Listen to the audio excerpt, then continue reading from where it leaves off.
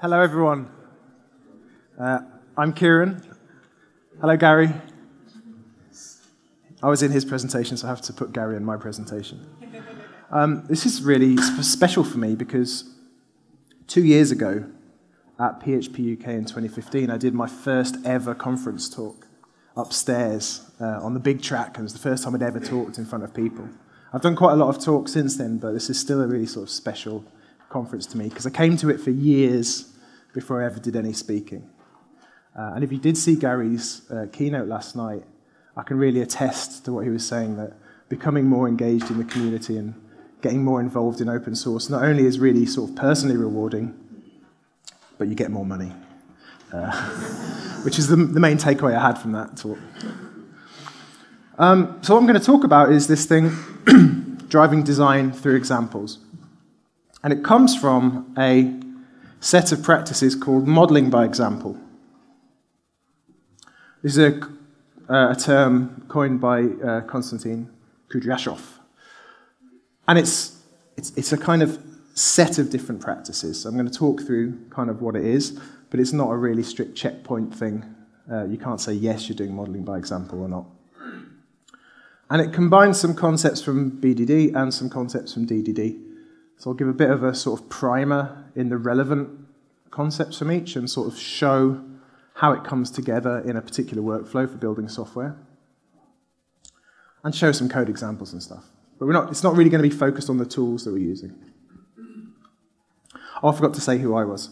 I, uh, I work for a company called Inviqa, who have a big stand out there, and I'm lead maintainer of a project called PhpSpec. And I do a lot of coaching and uh, programming and things for people. So let's start with BDD. Behavior driven development is quite well established now. A lot of teams think they're do it, doing it, but they're not. they're just writing weird tests. Um, what's the point of BDD? It's that the behavior of the system is what's going to drive your development. We've got too many DD acronyms in this industry, but we're only going to cover a couple of them. Um, so, what does behavior mean? It means we're going to start our process by talking about how the system should work, which sounds obvious, but lots of people don't do that. They start it by opening an editor and typing stuff. Maybe we're going to have a conversation with someone about what it's supposed to do before we get to that point. And it's got many focuses. It's about building things well. so, having conversations, uh, and documenting how parts of your system should work, maybe in the form of executable tests, is going to help build quality into your application. You want to build the right thing, so we also want to figure out my unit tests are going to tell me I've built the thing that I want, thought I was building. Um, I also need to kind of figure out is it the thing I was supposed to be building, which is sometimes different. And another part of BDD we're not going to focus on much is building things for the right reasons. So a lot of BDD conferences, people are talking about project goals and how do you know if your project succeeded to achieve the business metrics that we wanted and that kind of much higher level stuff. So maybe that's confusing. Um, a, a good definition of BDD is Liz Keogh's definition. BDD is when you use examples in conversation to illustrate behavior. Behavior is this input leads to this output. And an example is a particular way of communicating. I'll stop fiddling with this. Why examples? Um, examples aren't actually that important to understand. What you really want is the person who's building the system has a mental model of, of the rules of the system that match the person who's paying them to do it or match the business needs that that's going to be uh, fulfilled. So really, we kind of want to understand rules. Here are some rules. The problem with rules is they are broad, and so it's hard to make sure the person you're talking to understands what you're saying. So we're going to work through an example that's a kind of um, loyalty scheme for frequent flying, because it's a sort of pet hobby. Um, we're going to start a budget airline that flies between London and Manchester. And the thing that's important for the people who are going to implement this system it's important that they understand these rules. And a business will often start talking to you in the format of trying to explain the rules to you.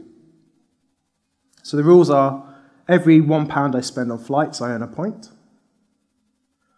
100 points can be redeemed for £10 off a future flight. It's a very simple scheme. Uh, and flights are taxed at 20%. Now, these might be the rules that are explained to you, the development team, which I include, you know, testers and all the different types of developers. Project managers, maybe, get some credit. Um, there's a whole load of other rules that are implicit to the business of flying that the customer aren't going to remember to tell you about. So there's a lot of assumptions they're making when they're conveying these rules, and it's easy to read these rules and get a slightly wrong understanding. Can anyone see any ambiguities in here? You just shout one out. Yeah, who? Do I get a point for how much I spend tax? Yeah, that's a good point. So if it's £100 and I spend £120, how many points should I get? So what I've done there is I've asked the question with real numbers in, and that's going to transform it into an example. What's the actual number of points I earn if the flight costs £100? You had one over there? Um, if I spend one pound forty-nine, do I have one point or do I have one point forty-nine? So if I, will repeat it for the thing. If I spend one pound forty-nine, how many points do I get? Do we have fractions of points? So even with very simple cases where you, you think, I'll just explain, the, I'll just tell them the rules and they'll understand and they'll build the software correctly. I've got a context that I'm measuring these rules against. Like obviously in my industry, it's really obvious where the points get awarded for the tax because it's how everyone does it. And I'm not going to think to mention it as part of the conversation. Or obviously in our industry, we know that things get rounded. Like I've been in the airline industry for 50 years and it's always been done this way. And the poor developer who implemented the rounding thing gets told they're an idiot because why would you ever do it that way? So, introducing examples here are what's going to reduce this ambiguity. Even for simple cases, you just say, So, give me an example when I'm flying and it costs £100. What kind of questions I like that I came up with? Well, when I, when I redeem when I've got a flight that I'm going to earn points on and I use some points to lower the cost, do I still earn points back on it? Maybe that's a good question to answer before the end of the project. Um, can I spend 200 points and get £20 off? This tax thing, if I've got money off, is the tax related to what you're talking about? If I've reduced the cost by spending points, does that reduce the tax? Or is there some crazy tax law that we have to add to our list of rules and this kind of conversation is the, kind of, is the bread and butter of behavior driven development. Techniques for asking this kind of question, making sure everyone understands the rules before they build the software. That's basically what BDD is about. It's not about um, figuring out what the user interface is going to be or uh, like writing the code up front and generating UML. It's just about making sure everyone understands this kind of behavior of the system. What should the system do in these different cases? And the examples become unambiguous. So, for the same set of rules, we can quickly, through a conversation, generate some examples. Um, so, let's say a flight from London to Manchester costs £50. If you pay cash, you'll pay an additional £10 tax and you'll earn 50 points. If you pay entirely with points, so you can throw as many points as you like onto it. If you pay entirely with points, it will cost 500 points, and you'll have to pay the tax on the original price before the discount. Ah. And you don't earn any more points because it's a like re- reward flight of some sort. Uh, and there's a scenario here. If I pay, just get some of the price off, this is what should happen. So this becomes a lot more understandable. Oh, in this room you can't read the bottom of the slides. I forgot. So if you pay with 100 points, it will cost 100 points and you'll have to pay the rest of the cost, and you pay the tax based on the original cost before you reduce it with points. So these. Sorry? No, you don't earn points at all on a reward flight. So often through these conversations, you discover a new rule. So you could, you could annotate that in your rules, you know. Oh, if you spend any points on a flight, you don't earn any new points. Something like that. So these are harder to understand, that's quite important. But there are, it would be easier for everyone involved if someone could just explain the rules and then I immediately understand the rules and we, I go and build the software. But in real life, there's normally some kind of ambiguity. So you can think of examples maybe as there's an algorithm in one person's head, and there's an algorithm that's been formed in the other person's head based on the chat you had, and then you run some real numbers through it, and if the same real numbers pop out for both people, we've got a high confidence we both understood what the hell we were talking about. And if different numbers pop out, we probably need to talk a bit more. And I can say, hey, why, like you just did, why, why am I not earning points here? What's the hidden rule we didn't talk about yet?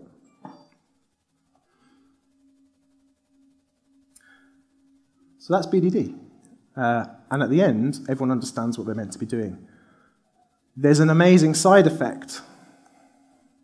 The examples are objectively testable.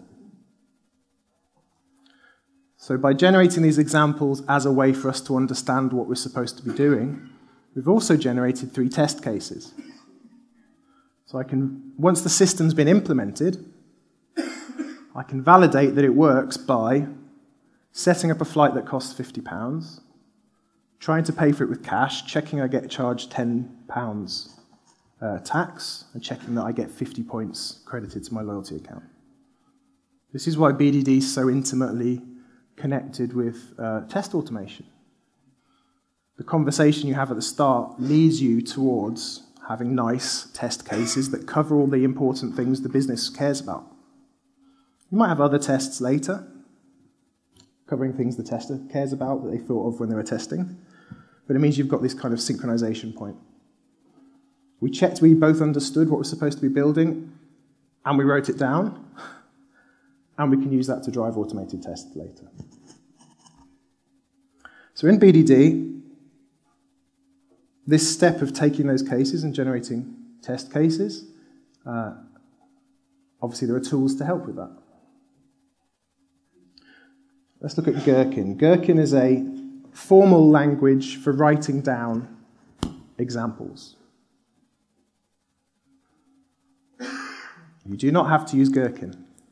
So there are tools that will make it easier for you if you're using this format. The most important thing is to talk to people and deliberately introduce examples into the conversation and say, can you give me an example? What would happen if I paid £100? And write that down. That's the most important thing. Writing it down in Gherkin format and using the tools that can automate Gherkin format will make your life easier, but it's just like a convenience step. You should only automate it once you're doing it correctly.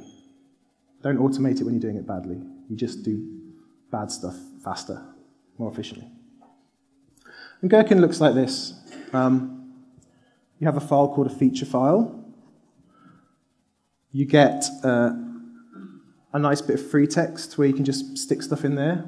Here's my understanding of the rules. Please see the, this page on the wiki. Uh, here's the user story that made us build this feature. Here's a picture of my cat. Anything you want to kind of stick in there that's going to help someone who reads this file later. And then the formal bit is these scenarios. So there's a keyword scenario, and then you say what scenario you're going to describe. So these are the three we had before. Paying cash and earning points. Uh, getting some money off the flight using points. What should happen? What should happen if I pay for the flight entirely with points? Then inside each scenario, you have a bunch of steps. The most important things are the when and the then. When this happens, this should happen. This input should lead to this output. We have a thing called given, which is like, why is that input leading to that output? What happened in the past? What states the system in? That means when you do this, this is going to happen. So you can focus just on the top scenario. But these are, I wrote out the three scenarios. Given a flight costs 50, 50 pounds, so there's this concept like already in the world there's a flight been set up that costs 50 pounds. Someone went and typed it into the flight system. When I pay with cash, so that's the input, someone does something that indicates they're paying, push a button or type a command or something. Then I should pay £50 for the flight and I should pay £10 tax and I should get 50 points. So we're not talking about a particular user interface, we're just writing down these business rules. That, we're writing down examples of the business rules we talked about. What's the system supposed to protect? And I do the same for the, for the other scenarios. Uh, and we'll see in a minute, you can use tools like Behat. Um, a family of tools basically called Cucumber, and Behat is the PHP uh, tool that will help you write tests based on this format. Uh, you could just write this down as text and use PHPUnit and write tests following the outline, and it'll be perfectly fine. Cucumber workflow is a bit more efficient if you're doing this Gherkin thing a lot. So, who writes these things? There's a concept called the Three Amigos. They're sometimes called Three Amigos sessions, but don't let normal people call you, hear you calling that, them that because uh, they think developers are weird enough anyway. Um, you need someone who understands the business rules. So, in a Scrum context, you might have someone called a product owner. There'll be someone, some subject matter expert who can take part in the conversation. Uh, you need someone who's good at validation, a tester, they're also really good at asking these sort of, but what would happen in if, and finding an extra case that the, where are the gaps in the rules? They're really good at identifying those things. And you need someone who's going to be building the thing, offer, offer alternatives. It's important that they understand the requirements, so it's important they're in the room. When do you do it? So before you start working on that feature, that's the last point at which you can do it, just before you start typing. Don't do it too long before. You don't have this conversation about an entire 12 month program of work and try and write out Gherkin scenarios for everything. It's a massive waste of time. Because, as anyone who's worked on a long project knows, you won't do half of that stuff. And you'll actually build a load of other stuff no one mentioned at the start. So, you know, not too long before, a few days before you're about to work on it. Probably before you commit to a particular time scale for doing it, you have to have the conversation. So if you're doing Scrum, for instance, you probably want to do this before your sprint planning. If someone's going to say how much work you're going to get done, you, you want to understand. And you have to optimize it for whenever you've got access to the right people.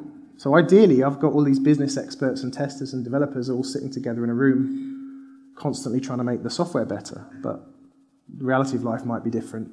You might have a business expert you get to talk to every two months for a half hour meeting, and you have to cram this conversation in. So sometimes you want to make these conversations very formal and say, we're doing the, we call it an example workshop. We're going to do an example workshop for the stuff we're doing in the next sprint. You're invited. Please come. and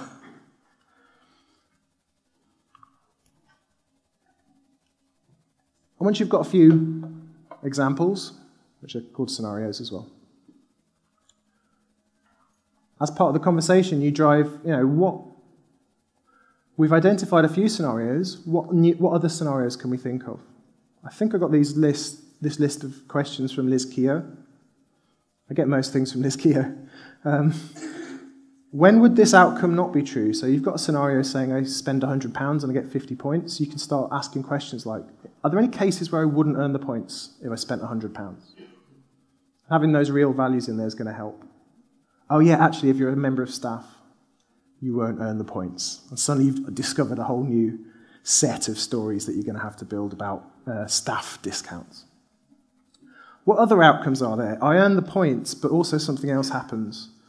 Like I get a ticket, or I, I go on an aeroplane. There's probably other, other things that happen. One of the biggest problems you see with, with people trying to do BDD is the only outcome they have is I see a message on the screen. And you kind of say, that's an easy test to pass. When I click the button, I should see, congratulations, you've purchased a holiday. That's easy to implement. You just echo some strings. There's probably other things are happening. Something gets reserved in another system. Does this implementation detail matter? It's, it's, natural for people to start talking about, I want a button I can click, but just don't capture that in the, in the scenario. Could, there's better ways to talk to people about user interfaces, more graphical ways, maybe with a marker on a whiteboard and wireframes. Trying to capture UI detail in text is, is pretty much a waste of time.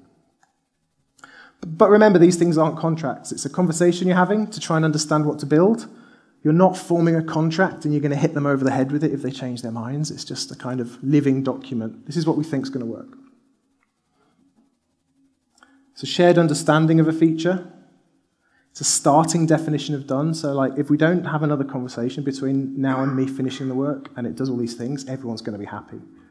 But, hope, but you might have a better idea. The business might come up with a much better idea tomorrow, and we can re- revisit it, have another conversation.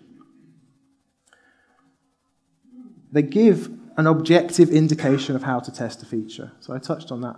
Even if you're not doing automated testing, having examples is going to give you a bunch of test cases. So you can get a person to read the eight scenarios you generated for that feature and just check each one works, manually testing it. Obviously, you'll want to automate it because I think most of the people in the room are developers and are lazy, so we don't want to sit there clicking on things. Even testers don't want to sit there clicking on things. They want to be doing exploratory testing and thinking about the system. So that's essentially BDD in 20 minutes. Let's talk about domain driven design. Um, DDD is a different DD, and the hardest thing to remember is that the last D stands for design, not development. And as long as you can remember that, you're, you're one up on most people. So, domain driven design is a different set of practices. And the point of domain driven design is that the domain model, the business model, the business understanding drives the design of your system. So, BDD is about the behavior of the system is integrated into the workflow of the development of how we build the system. DDD is that the understanding of the business is central to the way we write the software. So we try and understand the business first, perhaps, and then make the software reflect that understanding as much as possible. DDD is a very, DDD is a very big field. Like BDD, there's no crisp boundary to it where you say this, this is in or out of the DDD. It's just a bunch of people talking about how to do software correctly. But Eric Evans had a nice phrase from his DDD book. It tackles complexity by focusing the team's attention on model of the, knowledge of the domain. And it's something that a lot of development teams shy away from. They don't want to invest time in understanding the business. They want to ignore as many details of the business as possible to keep the domain model simple. So the business tell you about all these complex things that we have to deal with.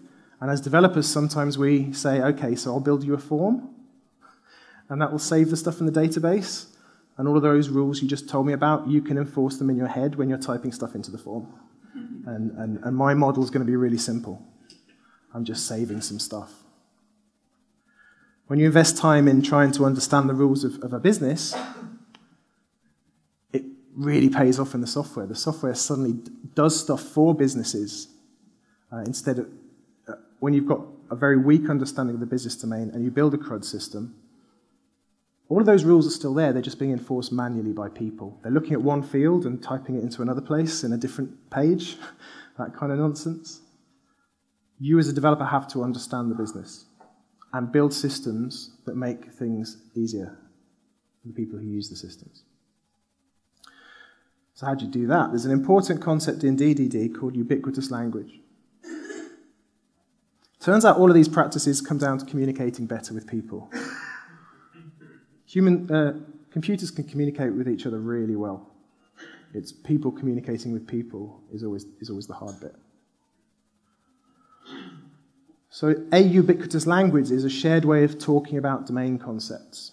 It means when I say a particular word to do with the business, everyone else in the team understands what that word means via a kind of telepathy. So it's hard to achieve. It means we're all, talk, we're all on the same page.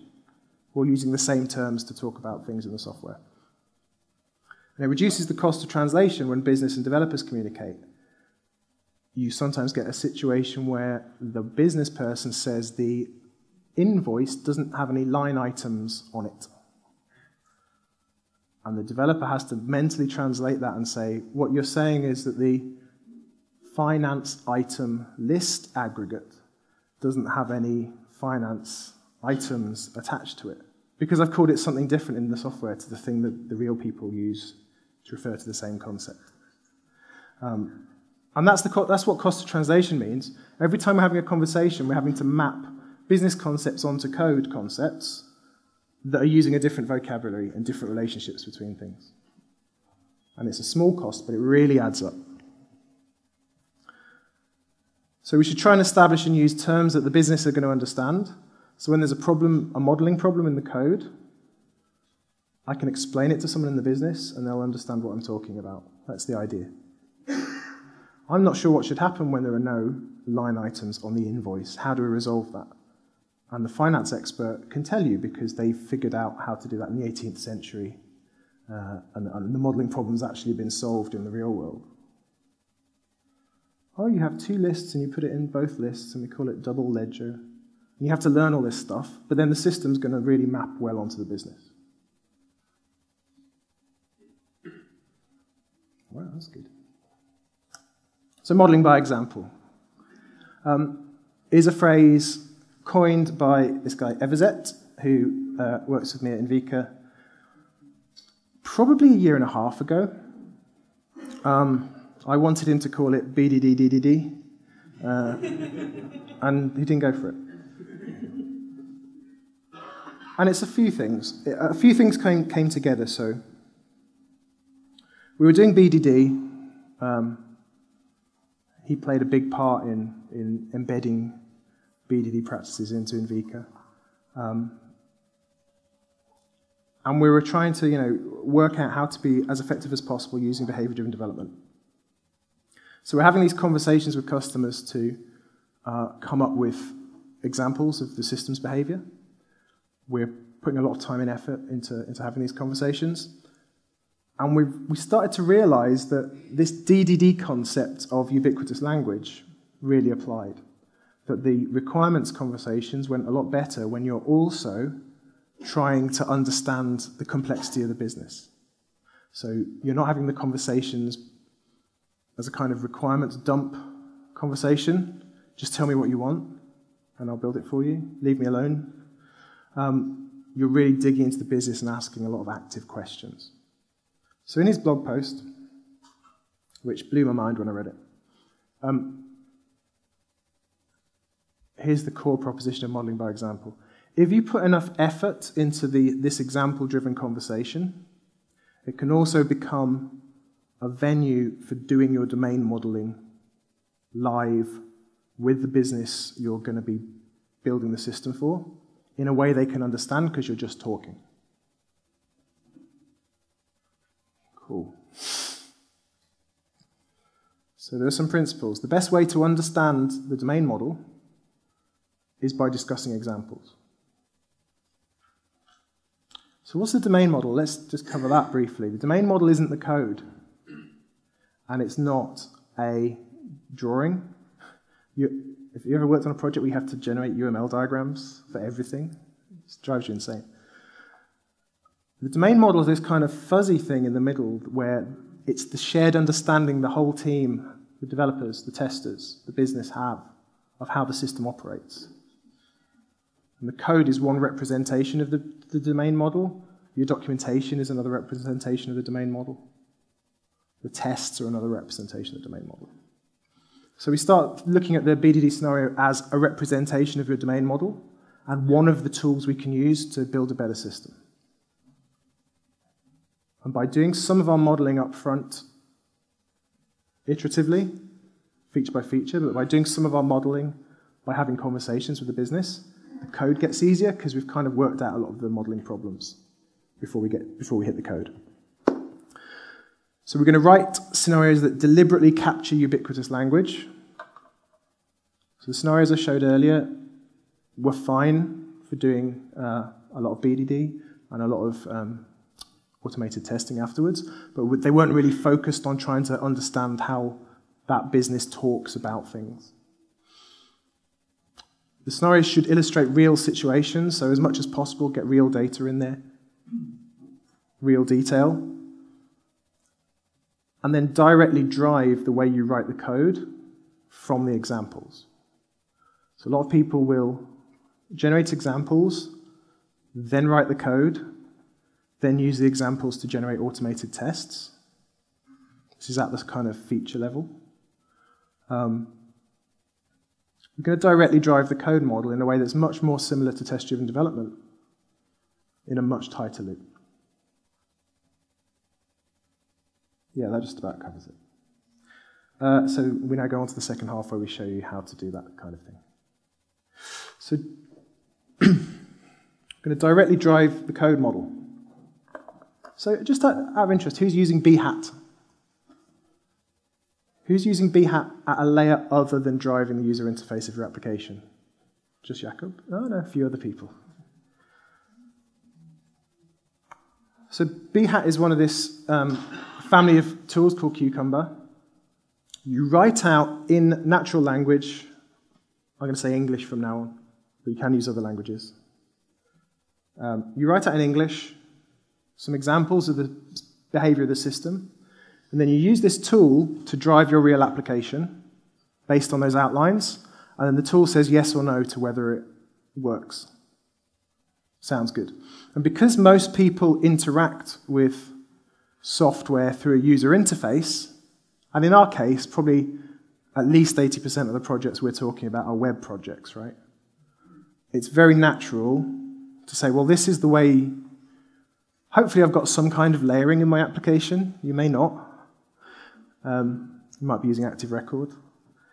Uh, I've got some UI and I've got some sort of core bit. If I'm really advanced, the core bit might be split out into a few other layers, like a domain layer and an application layer. And I've got some infrastructure like databases and queues and things that I have to talk to. And because a user interacts through the UI, the most natural way to use Behat is to use Behat to drive your user interface. And that's okay. Um, try not to have that user interface detail in your scenarios, but uh, you know, this is what most people are doing. There are problems though. Someone shout out the problems with UI testing. Slow. Yeah, it's really slow. Anything else? Changes all the time. Bloody front end developers keep removing my CSS selectors. Yeah, and it's kind of fragile. Um, things time out, and then you run the build again, and it's fine the second time around. But it's a three hour build. So the first time it timed out, and then I restarted it, and it passed the second time. So that's how I spent my day. I did a code change, waited for it to fail, restarted the build, passed. Felt productive, went home.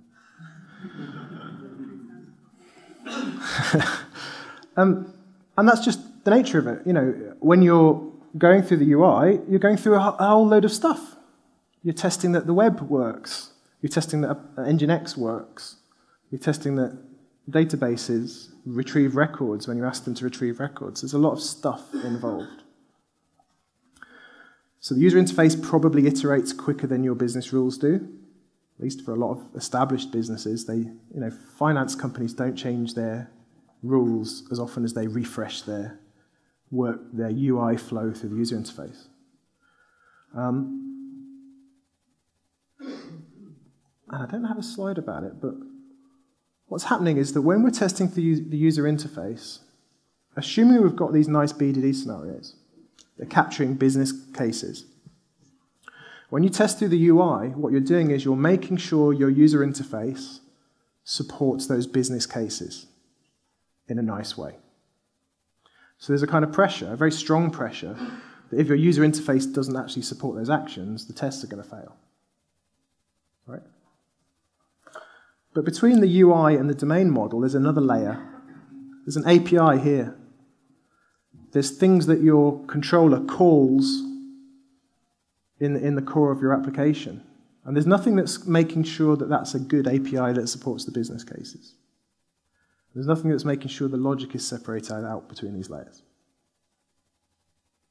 So, important practice in modeling by example is to test the domain first, test the code first, make something that works, and then hook it up to a user interface. That's an interesting concept.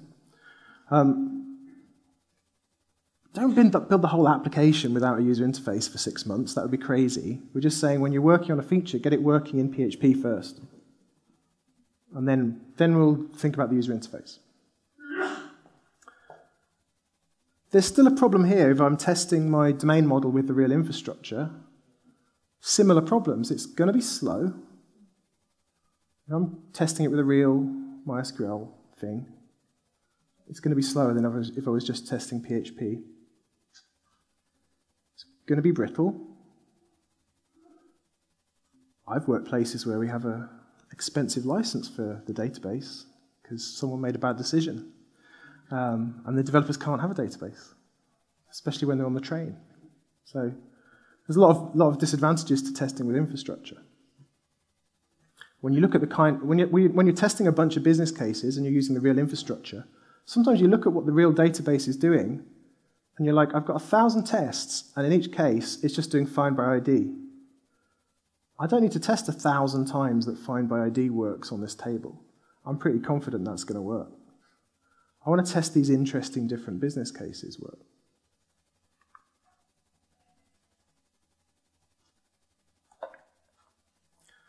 So you can get rid of your infrastructure as well. And just test your middle layer. We're going to test the database later, but let's not worry about it immediately. So modeling by example, you start by writing good scenarios, and then you test the core of your application. Let's talk about the scenarios. Here's what I started with. These are fine for testing. It's easy to read them. You understand what's happening in each case. Um, they're good for verification. However, when I come and build this system, there's not a lot there to help me. As a developer, I'm going to have to come up with a domain model. There isn't really a domain model there. There's just inputs and outputs. So this is, the, this is what in modeling by example we're trying to add.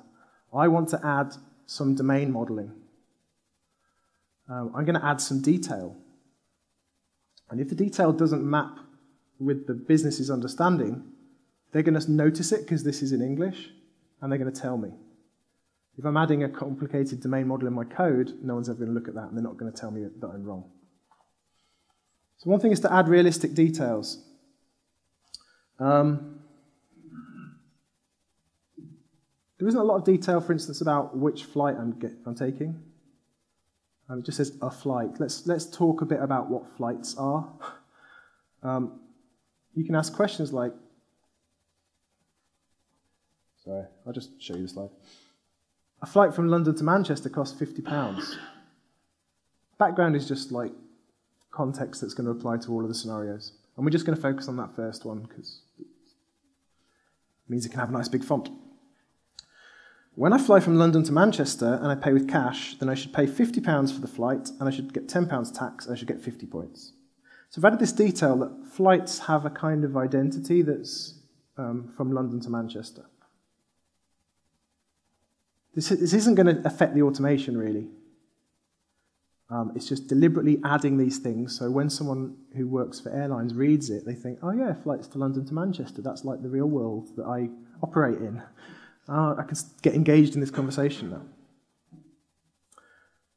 The harder thing is to actively seek terms from the domain. So it's quite easy to show this to someone and they say, yep, yeah, that's how it should work. You have to then drill in and say, is this really how you think about it? I've made, just in writing this, I've made a lot of assumptions about the domain model. A flight goes between two points and has a cost. Uh, I don't want to like start talking about databases or anything, but you can imagine like, a flight has a cost. Is that true? Are there changes in future where maybe there's multiple costs for the same flight? Do I want to design it in a way that's going to support those changes?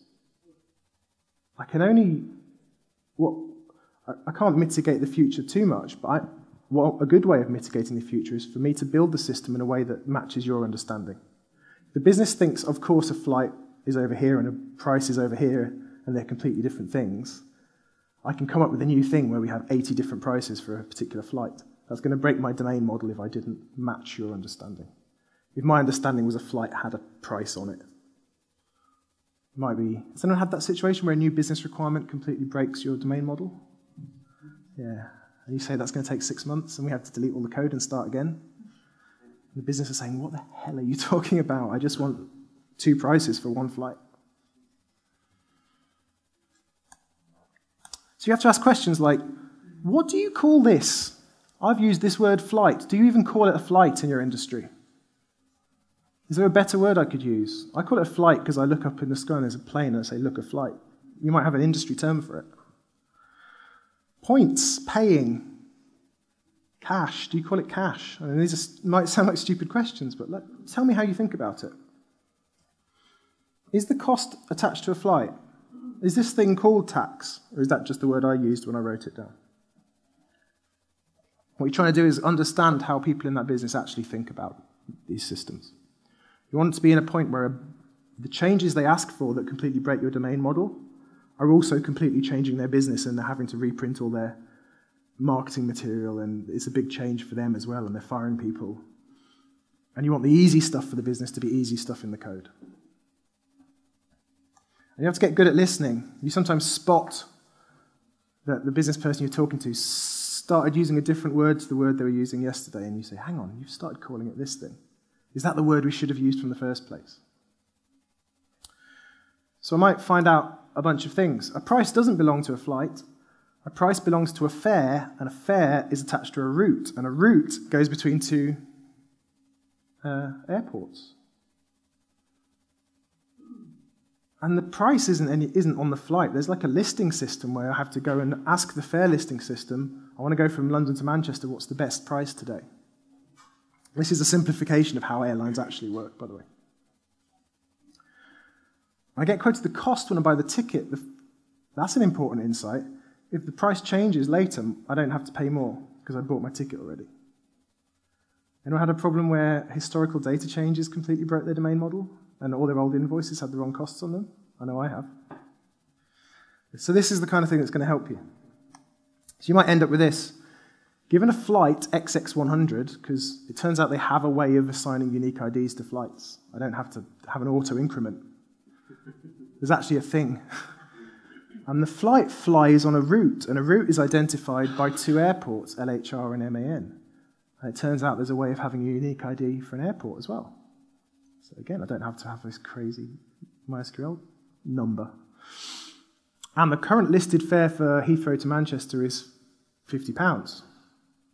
So a whole new concept we didn't talk about before that I just got to with conversation. There's, a, there's some sort of listing system that I have to consult, and that's maybe a different system. It's not just a table with the flight and the price. Or when I'm issued a ticket, so it's when I'm issued a ticket, and they call it issuing. They don't call it buying, because you pay later. And I pay £50 cash for the ticket. The ticket should be completely paid, and the ticket should be worth 50 loyalty points. So it's the same scenario, there's just a lot more detail in there. And someone who's reading that is going to understand a lot more about the business. In terms of verifying it in a test, it's not really added a lot to the outline of the test I'd write. But because I'm going to use this to drive my code, all of these new concepts I learned about are going to be reflected in my code.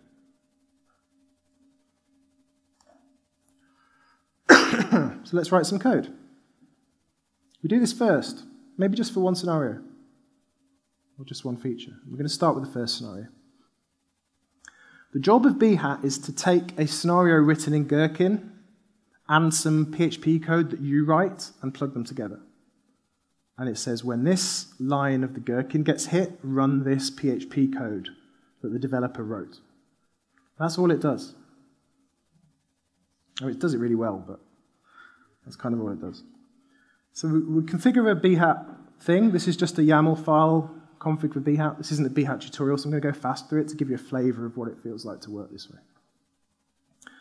So I say, well, there's a suite called core and there's a class called flight context, and that's going to contain the code that you should execute. And then I make a flights context, and that's full of methods that look like this. And the methods are annotated with a nice little pattern that says when you see a step in the gherkin that looks like this, run this code. So I run it. I get this kind of output. Uh, and it stops on this first step and it says, You haven't really told me what to do for this first step. So you now need to write some PHP. So as we go through, we're just step by step going to write some code that tests whatever the step says. And we're going to be driving the PHP directly. So we have given steps. This is existing context. In those steps, we're going to create the context. We have when steps, which is like something happens. We're going to do something. And there are then steps, where we check something. We're going to check something in PHP. So some interesting principles. Model values as value objects. Use objects for stuff. This is a very good practice. Um, you'll find in a lot of um, domains, lots of the logic is about how values are transformed or manipulated. There should be objects for that rather than just throwing strings around. So as I work through, what I'm going to do is read the English step and try and make code that really reflects the terminology used in the English and reflects the concepts being used. so I've renamed some of the placeholders here. So when there's a step that's, the colon is a placeholder. When there's a step that's like given a flight with this number, flies from this origin to this destination, route, I'm just reading that and I'm trying to reflect that as closely as possible in my PHP. Uh, the same thing. So there's a thing called a flight. I'm going to instantiate a thing called flight. There's a thing called flight number. I'm going to make a, I've got a value object that represents a flight number. Can't be created with invalid flight numbers. That sounds handy. Um, and there's a thing called a route, and the route gets constructed with two airports. And the airports are constructed from the strings. So loads of the concepts from the conversation have now been dumped into PHP. Some of this instantiation can be shortcutted using a Behat feature called transformations. This is just a quick way of um, doing this casting from strings to value objects. I won't go too much into it. But it basically simplifies my code, and I get Behat to do some of the value object uh, transformation. So when I run Behat, I get an error because I haven't. None of these things exist. so this is very much like TDD, right? I wrote the code that I want to exist, and I've spent my time thinking about that code's API, and now I have to write the code. And because I like unit tests, I'm, what do I do first when I need an object? Where do I start? Do I just make an object? Write a test. So I'm going to write a unit test for that object. So I've got these Behat tests and making sure the whole thing works together. I'm still going to write unit tests for the individual objects. I'm going faster. I use PhpSpec. Um, so, for example, this thing called an airport, it can be constructed from LHR, and then when you call as code, it should return LHR. If you're not familiar with PhpSpec, don't worry about it. It's just unit testing. Uh, it can't be created with an invalid code, so if it's constructed from this weird code, it should throw an exception during instantiation. Very, very simple test, but just checking a few things that we want that um, class to display. And this will compel me to write the airport class. Uh, it can be constructed from a code. It's got a regex for the codes it likes. It can turn itself into a string again. I should probably put return types on this. It's the, it's the modern age now. Once I've done that, I can run Behat again, and that step now passes. So all of these objects that I, I do it for all of the objects. All these concepts that I instantiated in that step now instantiate correctly, and I've got objects, and I've actually discovered a lot about my domain. I've got quite a few values modeled. So I go on to the next step. The currently listed fare for this route is this amount of money. and this is interesting because I have to think do, am I building this fare listing service? Or is there one that exists already? There's probably one that exists already. So sometimes you find boundaries, somewhere where you're going to talk to some other system, and you just drop in an interface. Quite commonly, it's a database or some sort of repository. In this case, there's a list of fares, and I don't want to worry about it right now. So I'm going to make an interface. Because I'm reading this text, the current listed fare, so there's something called a current listed fare from a route is this amount. So I'm, I'm thinking about that terminology that came from a conversation. So there's a fare list. We're going to call that thing the fare list, and I can list a fare into it. I would have called it list, but that's a keyword in PHP. So you can't, ubiquitous language, you can't always match uh, exactly the, the thing. You're just trying to get as close as you can for whatever language you're using. so you can list a fare between two routes. And then because I need an, an implementation of this, if you remember, we're not using real infrastructure, I'll just make an object that does that really naively. This is an object I'm just going to use in the tests to replace the real infrastructure. So it's a fake fare list, it just remembers the lists. It means I can write my step. The currently listed fare for the, between this route is this fare. I'm going to insert that into the fare list. So I'm just going through this cycle step by step, trying to reflect the concepts that are there. Run Behat, and that step now passes, is green. It's complaining about the next one. I haven't defined what to do in the next step. So I am issued a ticket on a particular flight. Each step I'm doing a little bit of domain modeling. I've done some of my modeling in the conversation. Oh, there's a thing called a ticket, and it's issued on a flight. I verified that with a human who understood the business. So I've, I've got some understanding of the domain model. But on each step, I'm now having to think how do I represent this in PHP? What does this look like in PHP? So you, that's a, a, long way of saying you might disagree with some of my design decisions here. Uh, and it's, uh, it's just a point, for, it's just an example, right? so I think a good way of representing a ticket being issued on a flight is to have a thing that issues tickets. And I called it a ticket issuer. Maybe this is one of those points where I have to go and say, hey, what would you call that thing? And I can change, I can change the step so once I find out what the business calls that thing, I, I would try and capture that in the step and in the code. But there's a ticket issuer that needs to know about the fare list, and I say, please issue me a ticket on this flight. Again, this thing doesn't exist yet. The ticket issuer doesn't exist. And every time Behat fails in this kind of fatal error way, in fact, every time Behat fails, I then try and write a unit test that fails for the same reason. Uh, so this is a simple spec for a ticket issuer. It can issue a ticket for a flight. When I ask it to issue a ticket for a flight, I should get back something that's a ticket. So now it's going to catch it at a lower level of my testing. It's going to catch it quicker. And that makes me write some code, makes me define a class called ticket issuer that issues a ticket on a flight, and it just returns a certain, just always returns a ticket that costs £100. So until I get to the then step in my scenario, I don't have to actually have any correct logic. I'm mostly modeling the relationships between things. So when you get to the then of the scenario, that stuff has to work. So I run Behat again. Now it's complaining it doesn't know what £50 cash for the ticket is. The earlier steps normally have more concepts in them, so you're generating more objects in the early steps, and by the end, you're, you're just sort of adding new, new methods and new method calls. And of course, this is the first scenario. this is the first scenario in this feature. When we come to model the second feature, sorry, the second scenario, most of these objects will be in place. When I pay a certain amount for the ticket, I'm just going to, okay, I should, I wrote the ticket object a minute ago. I'm going to add a pay method.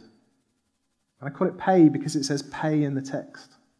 I don't have to think as much about what to call it because I thought about what to call it when I was talking to the rest of the team and talking to the business. Obviously, that doesn't work because pay doesn't exist, so I make a unit test that says you can pay tickets. That's a really bad unit test. It's going to get better, but for now, I just, I just want to be able to call this method without anything breaking. And this will compel me to write this amazing method and then that step passes. So you've seen a couple of times that the, the domain model is a bit anemic here. Like there's not a lot of logic. And it's because only when we get to the then step of the scenario will we have to actually implement a lot of logic. And you, you need to hold yourself back a bit and not try and implement everything before you've got a failing test. So we get to the then step. The ticket should be completely paid. So I have to tell Behat what to do. I say assert that ticket is completely paid, returns true.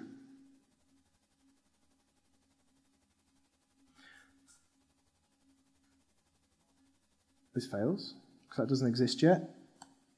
So I write a unit test that covers the same case and, and also fails.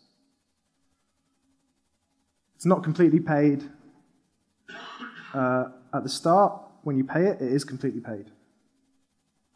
And then I have to go and write some code to make that true. And typically at this point, you find you need to add some extra methods to the other objects for internal calls. So the Behat is interacting from the outside, the kind of application API. Often the objects will then have to talk to each other a little bit, so you'll add a few, a few methods to those objects, and in each case you're adding unit tests. So I have to write some new unit tests for my fare object. I have to add some logic to the fare object. I then find some more unit tests I need to write for the fare. Change it. And then we get to the point where it works in that everything executes, but the logic doesn't work. The logic doesn't work because tickets, if you remember, I hard coded a cost into the tickets. So I write a unit test that fails for the same reason. When I have a route between Heathrow and Manchester, I have a flight on that route, and I try and find the fare, blah, blah, blah. It's kind of duplicating it. And then I write the logic inside my objects to actually pass the tests. And then it's all passing. The next step, the ticket should be worth 50 loyalty points. I then have to do the same cycle again. The ticket should be worth 50 loyalty points. I assert that the number of points it's worth is 50. And then I write a unit test that capture, captures the same thing. And another unit test. And then I implement the logic in the object. And then I've got everything passing. So that's the, with the workflow. It's very uh, structured, which I like because left to my own devices, I just read Reddit or something. Um, so I like to know what I'm doing next. It's also every step driven the code. So you'll have seen that the API of the code is really close to the language in the text. There's two steps to this chain. The language in the text in, in the gherkin is really close to the way the business think. That has to be true. And then you have to have driven your objects very closely based on the gherkin, and that means your domain model naturally maps the way the business thinks about things. So, where is the domain model? This thing we generated is a domain model now. It's something someone can read and they understand a lot of the business concepts. On projects where we've put a lot of attention into this, we find new members can be on board a lot quicker because we've got these, these things you read and it's just explaining how the business works.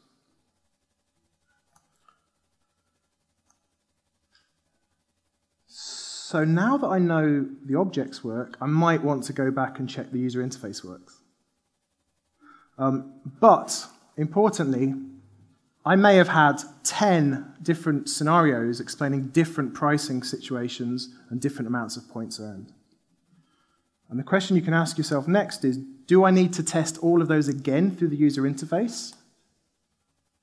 If I know that the controller just calls that method, and I know that the template just shows whatever the return value is, if one of those tests works through the user interface, probably all of them are going to work. Or if two are doing di significantly different things in the way the UI interacts with the application layer, you might need to test two of them. But because we've run all of our scenarios through the, the business objects first, and we know the business objects behave correctly, I might get away with just running one of the scenarios through the real user interface with the real database. The database might be doing find by ID in each case. The user interface might be clicking the same button each time. And the only difference is the numbers that are popping up. And this is the point at which I build the user interface as well, of course. So I add a second suite to Behat config. I say this is only going to run the scenarios that are tagged with a particular tag called UI. I pick one of the scenarios where I think if that one works, I'm happy. I'm happy all the other UI, all the other scenarios will work through the UI. And then I'll go through the process of just for that one scenario, I'll write a different set of test automation that tests it through a browser by clicking on buttons and stuff. So our attention's focused on use cases. It helps you understand the core business domain. That's one of the biggest advantages, as well as having nicer code, you know. You're getting a better understanding of the business. It's going to encourage layered architecture because you're testing the core first. The test suite gets a lot faster because the majority of scenarios are being checked through the objects. And it's, it's ensuring your objects have an API that corresponds to these use cases. Use it when it's really important to get a good domain model. That's not all the time. Use it when you're likely to have to support future changes. So, like, how long is this project going to be? How, how many iterations of different types of businesses it going to support? And use it when you can have conversations with shareholders. If you can't, fix that. But, you know, don't, it, it doesn't work as well. Don't use it when it's not core to the business. You don't need it for prototypes if you know they're going to die. Um, don't use it if the thing's small enough that you could throw it away and rewrite it when the business changes. And it's a lot harder if you don't have access to business experts. So I've gone over, but I'm going to plug some things. Um, I organise a meetup called BDD London. On Monday, we're doing a workshop on this subject. It's at Skills Matter. You can find it by just Googling BDD London, and it's free. And uh, Konstantin and I are going to facilitate a workshop in improving scenarios. Um, JetBrains are getting me to do a webinar next Thursday about PhpSpec. So you saw a little bit of PhpSpec there, but we'll, we'll do a demo and stuff. Uh, I work for Inviqa, and we launched a product called Continuous Pipe. So come and talk to us about it. Uh, and especially find the French guy with the beard, Sam, who did a lot of the coding and used a lot of these techniques to build Continuous Pipe. So it might be interesting.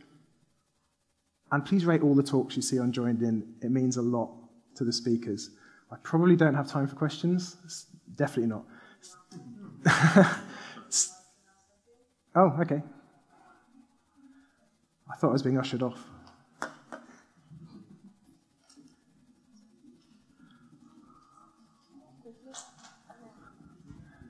Okay, wonderful talk. Um, just one very quick question. Let's imagine I work for a company where the scenario is someone outside of the dev team from accounts or somewhere else goes, um, I want a website, I want cat gifts on it, I want it by Monday.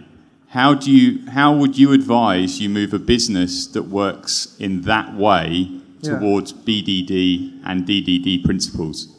You might not need to. If, if the cat gifts are achieving the business goals, um, you don't need to have a strong domain model. I would start by starting at the project goal level and questioning why we're doing this project. So, you know, what, how will we know of this project's success? What are we trying to achieve by this project? Can you explain how the cat gifts are going to make life better? Uh, sort of walk backwards up to the rationale for the project. And then once you get that kind of buy in, we're going to measure it. Maybe we'll have some metrics and see if it worked. Then that gives you more freedom to suggest other ways to achieve the same change in the metrics. If, if you're starting the conversation with a hard set of requirements, it's a lot harder. So you need to get more access to the strategic level. Why are we doing this? Maybe we can suggest different ways to achieve the same goals, and then you'll be able to apply this better. Uh, is that it? That's it. Um, I'll be at the Inviqa stand. Come and talk to us. I'm happy to answer questions.